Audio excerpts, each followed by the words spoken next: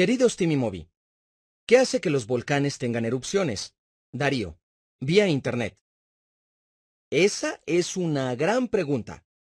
Los volcanes son aberturas en la Tierra que liberan energía desde las profundidades del planeta.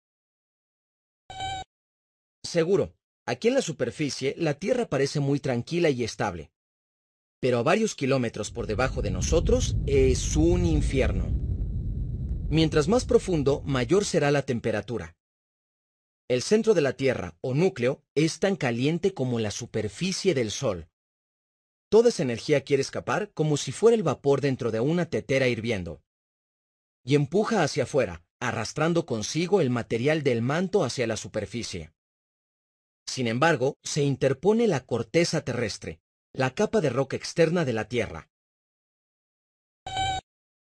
Sí, la corteza terrestre es delgada como una hoja de papel comparada con las otras capas, pero aún así estamos hablando de kilómetros de roca pesada. La rígida corteza mantiene el material del manto atrapado debajo. Pero en algunos lugares el manto forma acumulaciones de magma, roca fundida mezclada con gas caliente. El magma líquido es mucho menos denso que el material sólido que lo rodea, así que comienza a subir. Conforme asciende, los gases disueltos en él forman burbujas que se apresuran a escapar, arrojando el magma aún más rápido. Mm, sí, eso es lo que ocurre cuando las burbujas de gas quedan atrapadas en un líquido. De cualquier manera, cuando el magma alcanza la superficie, se llama lava. Con el tiempo, las capas de lava endurecida se acumulan y crean unas formaciones parecidas a las montañas que llamamos volcanes. Bien, el tipo de formación depende de qué haya en el magma. Menos gas significa menos presión, provocando erupciones más suaves, como el Kilauea en la isla de Hawái. Las corrientes de lava de estas erupciones se desplazan lejos antes de enfriarse, formando montañas planas con vertientes amplias. A este tipo de volcán se le conoce como volcanes en escudo. El magma con mucho gas puede acumular una cantidad enorme de presión. El resultado es una erupción explosiva que puede emitir flujo piroclástico, avalanchas muy veloces de ceniza caliente y gas volcánico venenoso. La espesa lava de estos estratovolcanes no se aleja demasiado, formando vertientes pronunciadas que pueden alcanzar grandes alturas. El monte Santa Elena en Estados Unidos es un claro ejemplo. Su erupción de 1980 causó una avalancha de escombros que redujo su cumbre considerablemente.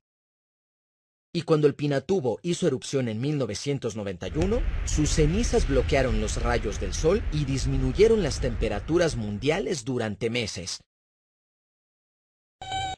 Bueno, afortunadamente, las erupciones no ocurren en cualquier lugar aleatorio.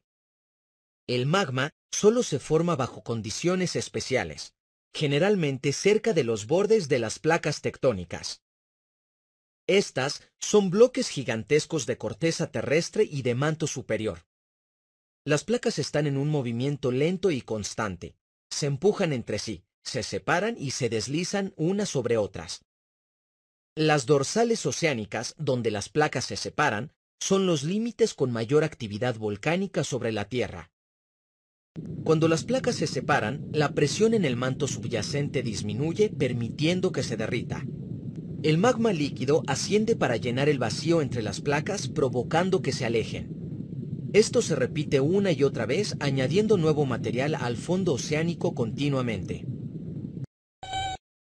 Cierto, Moby. El anillo de fuego del Pacífico es otra enorme área volcánica. Sus erupciones son ocasionadas por colisiones entre placas oceánicas y placas continentales.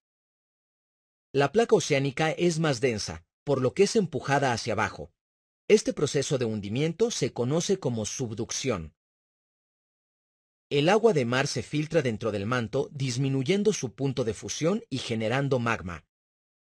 Así que cuando el magma hace erupción, está reclinando una parte de esa antigua placa oceánica como suelo nuevo para el continente.